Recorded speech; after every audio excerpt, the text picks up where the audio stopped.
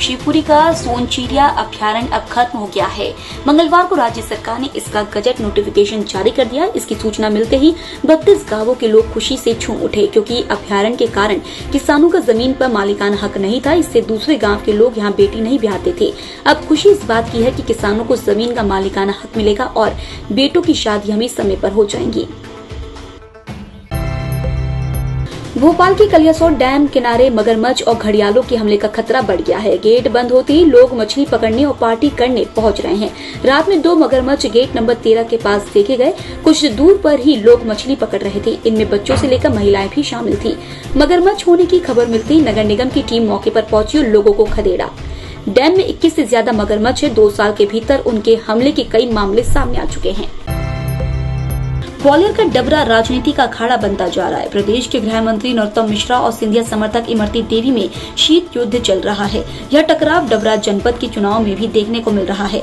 डबरा जनपद पंचायत को कुछ समय पहले तक गृह मंत्री के कोटे में माना जा रहा था, पर सिंधिया समर्थक पूर्व मंत्री इमरती देवी ने मिश्रा के गढ़ में सेंधमारी कर दी है। पच्चीस में से अठारह सदस्यों की बाड़ाबंदी कर वह दिल्ली पहुँच गई है।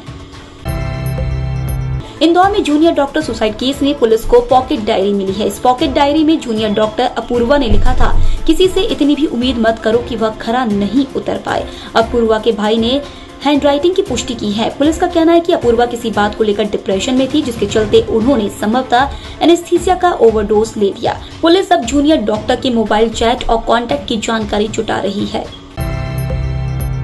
राजधानी भोपाल की फंदा और बैरसिया जनपद पंचायत में अध्यक्ष की कुर्सी का फैसला बुधवार को हो जाएगा।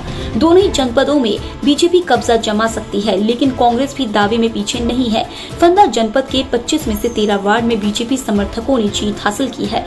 वहीं छह वार्ड पर कांग्रेस समर्थित जीते। दूसरी ओर छह सदस्य ऐसे हैं जिन्होंने अपने पत्ते नहीं खोले हैं। वे अध्यक्ष के चुनाव में निर्णायक भूमिका निभा सकते हैं। हालाँकि बीजेपी नेताओं का दावा है कि निर्दलीय सदस्य भी उनके साथ ही है।